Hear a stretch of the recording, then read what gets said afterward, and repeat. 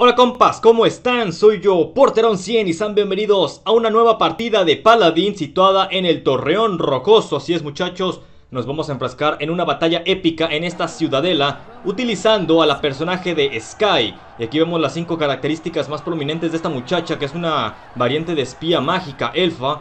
Aquí está, tenemos el aditamento de capa, la polución, el ninja, la aparición y la atracción umbírica. Esta muchacha puede aplicar disparos de aguja de impacto y también tiene el clásico veneno que podremos ver a continuación. Pero bueno muchachos, vamos rápidamente a una pausa comercial mientras este duelo comienza.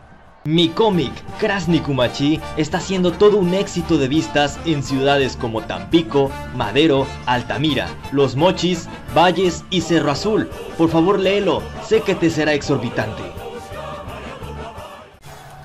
Ya estamos de vuelta, damas y caballeros, en una partida tan épica como lo dice el título del video. Esto es Paladins utilizando Sky, una ninja sobrenatural que se puede hacer invisible y que puede envenenar al enemigo. Estamos en medio muchachos, ya aparecieron los enemigos. Atención a la izquierda, 3 cuartos arriba, 40. Defienden 4, atacan 3. Esta podría ser la primera kill del día, así lo hace, primera eliminación. 50 puntos más arriba, está el arquero atacando, lanzamos un poco más de petardos. Allá está el enemigo, viene abajo el hijo de Kratos con el revólver asesino. Lo envenenamos como podemos. Recargue táctico, le seguimos disparando y nos termina aniquilando. Pero también se lleva la kill por parte del hombre de Androxus. Ahí está.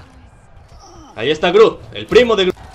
Atención enfrente, llegan tres, atacan cinco. Hay que atacar el árbol, hay que envenenarlo. Recargue táctico con la muñequera asesina. Esta podría ser la más interesante del encuentro. Aquí está el hijo de Fox con la escopeta asesina. Hay que envenenar a ese árbol. Ahí está muchachos, ya secamos el abrevadero. Las raíces, aquí matamos al doble al hijo de Fox. Ahí lanzamos una bomba asesina. Vienen atacando tres arriba, defienden dos. Escoltamos el carruaje de oro bañado en plata. Ahí están otra vez los enemigos. Atacan 5, 2 con 17. Ya murió el arquero. Sigue la maga de hielo. Viene el pony asesino. La muchacha de los Clásicos petardos de madera. Allá está otro atacante. Arriba defienden 4, atacan 5. Curación al límite, racha de 2. El hijo de Fox sigue atacando. Recargue táctico. Hay que aplicar la ley del Androxus. Nos está disparando. Ahí está el hijo del Groot. Esta podría ser la baja más definitiva, muchachos. Ataca uno. Excelente matanza el triple. Nos hacemos invisibles. Hay que perseguir al hijo de Fox con la escopeta. Dice una. Dice dos Hay que tratar de aniquilar al arquero Lo tratamos de envenenar, no llega a destino final. Recargue táctico y aquí lo hacemos muy bien. Seguimos adelante señoras y señores. Ahí tienen más oportunidades de llegar al éxito. La carga ya casi llega a destino final. Nos hacemos invisibles, nos ocultamos cerca del spawn enemigo. Ahí viene uno de esos petardos desde el cielo y termina aniquilando Armando un alboroto como dictan los cánones. Viene el arquero atacándonos con singular alegría. Recargue táctico, aniquilamos a la muchacha de los clásicos vegetales con salmonela Sigue avanzando la carga, el arquero sigue avanzando, tiene un poco de empuje exitoso, señoras y señores. Así termina la primera parte, el primer duelo, el primer escalatón de esta partida. Vamos rápidamente a una pausa comercial en corto. ¿Sabes cuál es el secreto para ser un buen comentarista? Ver todos los gameplays que se puedan.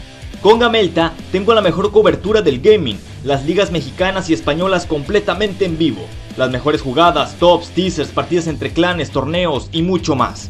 Y a partir de la temporada 2017-2018, todo el gaming latinoamericano en vivo y en alta definición, comentado por los mejores expertos en videojuegos. Disfruta los esports con Gamelta, los casters de hoy. Damas y caballeros, aquí empieza la segunda ronda, la parte 2, el segundo tiempo complementario de una partida importante de Paladins utilizando a Sky, una muchacha que se puede hacer invisible y que puede envenenar al enemigo. Aquí nos hacemos invisibles o invulnerables por un poco tiempo, escasos 3 segundos. Aquí podemos dispararle a todo mundo, lo estamos envenenando. Ahí estamos contra el hermano de Groot, el brote en una maceta, atacando como dictan los cánones. Recargue táctico, seguimos avanzando. El hombre que trae las granadas asesinas está haciendo un trabajo increíble. Estamos disparándole a la mujer de los pepinos. Allá está el objetivo, ha sido perdido. Nos siguen atacando. Media vuelta, recargue táctico. Defienden 3, atacan 4. Racha asesina de 7. ¿Quién podrá ser la víctima número 8? Sigue la muchacha de los hielos picantes. Se hace más invisible, ya está el hijo de Groot. Hay que seguir disparando media vuelta, está envenenado, hay que cortarle las raíces. Ya noqueamos a otro, asesino silencioso, recargue táctico, el arquero asesino, recargue otra vez. El asesino más silencioso se está haciendo cada vez más viralizado. Quedan 2 minutos, 1 con 58.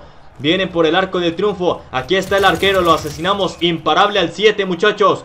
Esto se está convirtiendo en una bendita masacre de aquellas de Celaya. Lo convierten en pollo. Allí está el hijo de Fox. Lo aniquilamos. Así es. Beaten Seed Bob pudo haber hecho alguna intervención más arriba y adelante. Tengan mucho cuidado con estos cazas enemigos. Recargue táctico. Aquí viene Androxus. Esta podría ser la más importante del encuentro. Dice una. Dice dos. Y nos está bloqueando los disparos Androxus. Terminamos sucumbiendo ante los disparos de este demonio que usa revólver mágico. Ahí lo tienen muchachos repeliendo todo disparo. Esta podría ser interesante muchachos. Curación reducida. Viene otro petardo de humo. Se hacen invisibles. Le bajamos más vida. Está el arquero atacando. Recargue táctico. Lo tratamos de envenenar. Allí está el brote en una maceta. Rápidamente tenemos la bomba disponible para el ataque. Allá lanzamos más veneno. Aquí viene Androxus flotando como el hijo del diablo. El hijo del demonio a las 9 en punto.